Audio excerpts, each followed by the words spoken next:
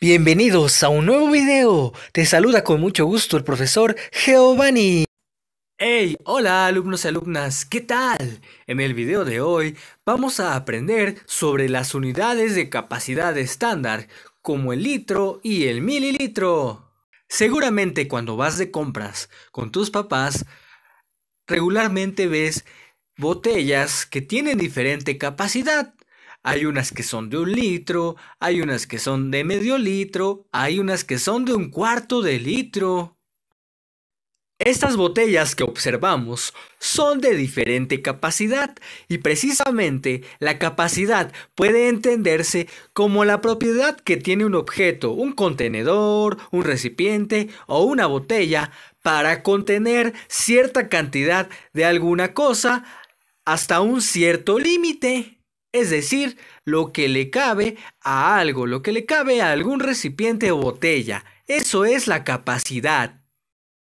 Todo objeto que hay en el mundo tiene volumen, es decir, que ocupa un lugar en el espacio. Asimismo también las botellas que contienen líquidos tienen volumen.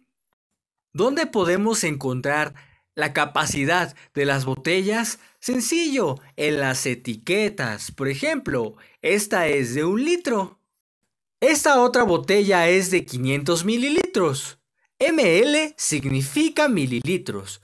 Y para poder tener un litro, necesitamos dos botellas como estas.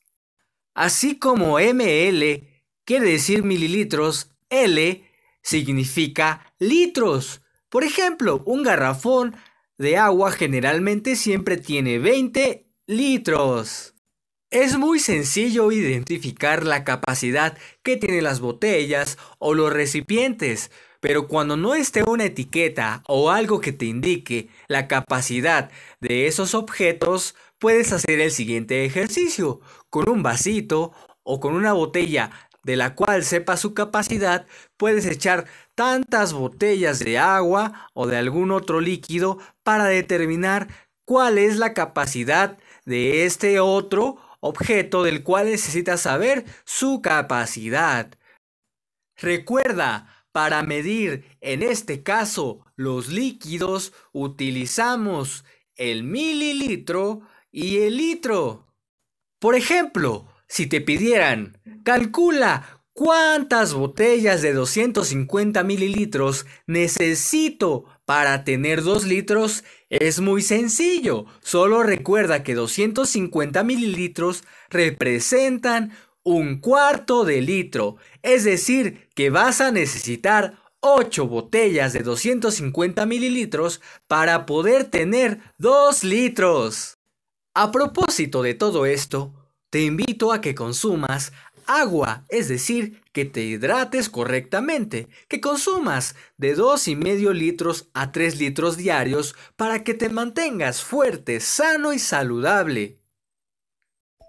Espero este video haya sido de tu agrado. Gracias por tu atención. No olvides darle me gusta y dejar tu suscripción. Cuídate mucho, estudia mucho, querido y querida alumna.